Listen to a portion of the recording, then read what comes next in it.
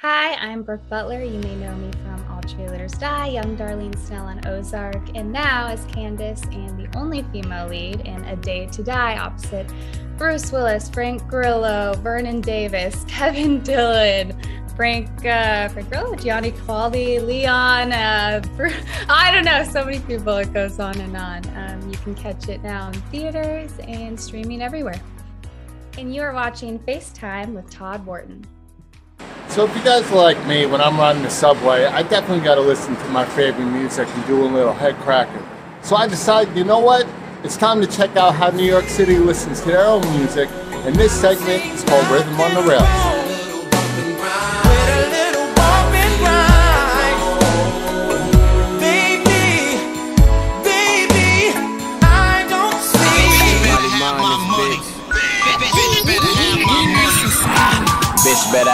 My money, money. Bring back a hundred, take 20, 20.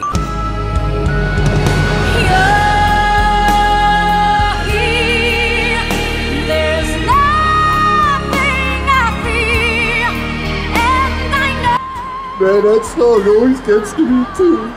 Coming up next, actress Brooke Butler. So welcome back to the show, everyone. So my guest tonight is known for her roles in All Cheerleaders Die, The Remains, the hit series Ozark on Netflix, and of course the new film that's out in theaters and also on demand, A Day to Die, starring Bruce Willis, Kevin Dillon, Leon, and Frank Grillo. But you know what? Let's take a look at a clip. Can't believe we're having a baby. You're gonna be the best mom ever. Gotta wear a seatbelt. Mm-hmm.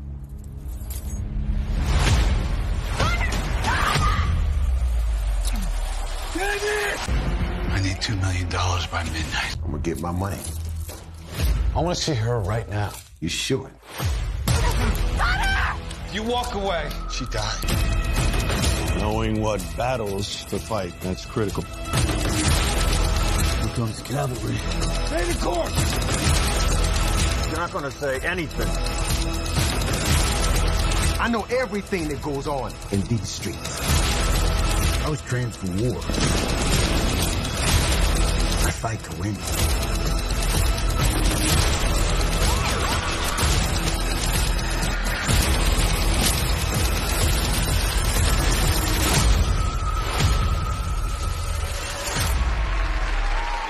Please welcome to the show, actress Brooke Butler. Hi, good. Thank you for having me. Yeah, it's my pleasure. It's my pleasure. So, um, a lot of us caught the movie, and we've been talking about it all week. Had a lot of great guests on from uh, your colleagues from the movie. And A Day to Die, you were the only female lead, but you really played in a, a pretty amazing role. Uh, you went from kind of starting as a helpless victim to a very brave, smart, uh, you know, hostage where you kind of played this role where you were doing reverse psychology to get out of it. But I think that came from playing a character who's a wife of somebody who's got a military background. So tell me about this character and tell me how you felt playing alongside Kevin Dillon, uh, who played uh, Connor as you played Candace on the movie. Okay, well, first of all, working with Kevin was incredible. He was so collaborative, which was important for us to have that chemistry when we would discuss, you know, the dynamics of our marriage and things that we want and our financial status. And did we want kids? And where are we working? And did, were we in a fight before this scene happened? And I think it really built in nicely working with him.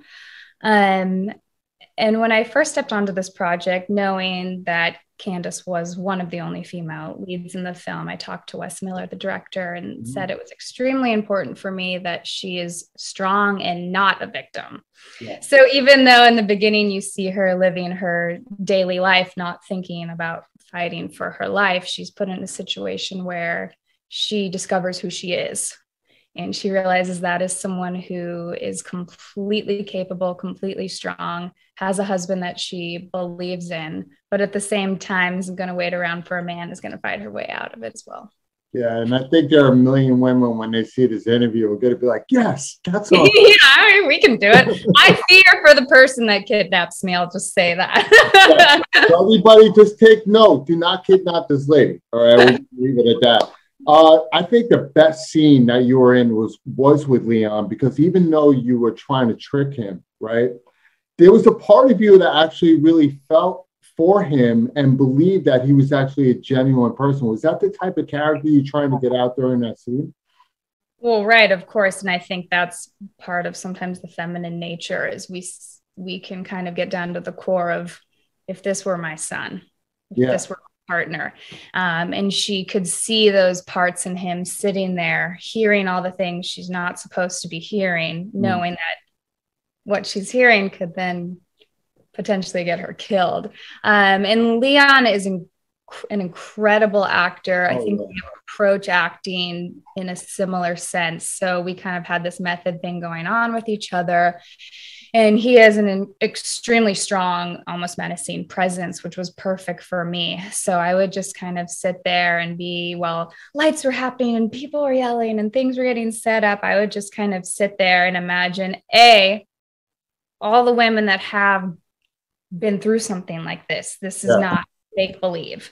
Um, and B, taking in Leon and the way he would walk around and how that would make me feel. And I think we created a great chemistry with that that really showed up. Yeah, I loved it. I love it. And in the end, when you guys were going to the plane, um, there was seeing Leon's on the plane, and then Kevin just stops to give you a hug because he misses you and hugging you. In the theater is like, get on the plane. And I'm just looking and I'm putting my head over like this, and I'm just like, white people.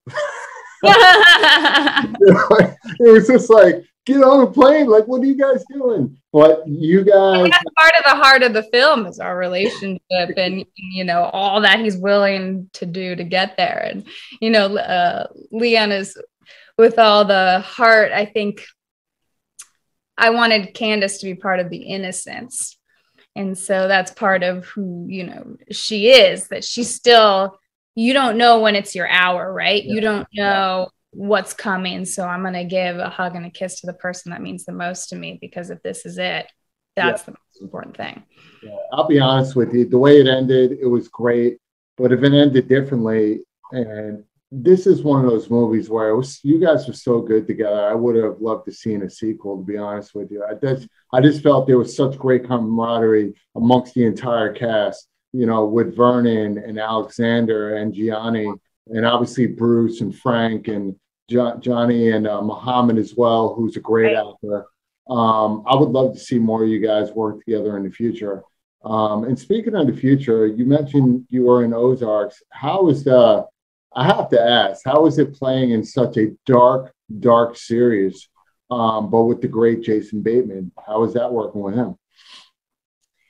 Well, like I mentioned to you earlier when we started, um, Darlene Snell is the complete polar opposite of Candace, just a little bit. Um,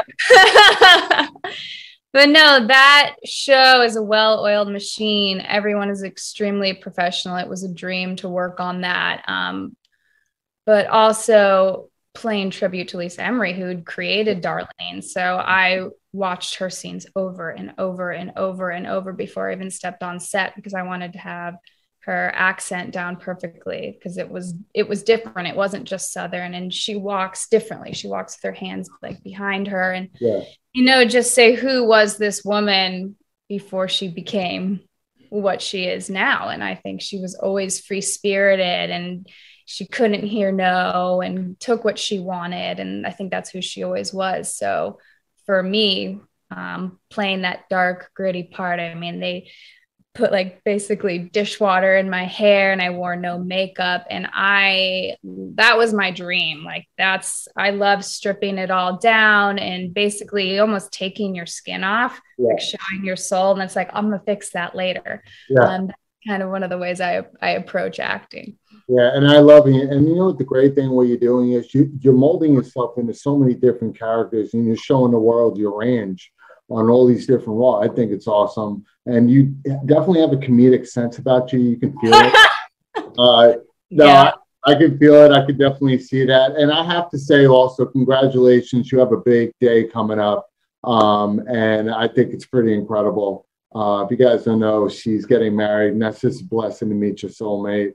And uh, yeah, we got to widen the screen 'cause that's a pretty big rock.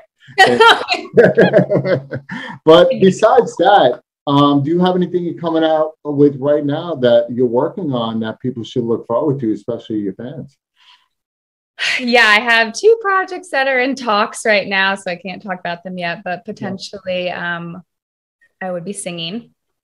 Um, so that's something I love to do as well. So I'm also going to put out a little music. But it's that's just like for me. I'm not trying to do anything with that. Uh, but, I also, but I also just had three movies come out in a row. So mm-hmm. the movie I had come out before this, I I grew up stage. So I grew up theater. I mm-hmm. performed mm-hmm. in Scotland as a teenager. Um, and so I was doing a lot of film and really missed the stage. So I ended up doing this play that then funny enough, turned into a movie.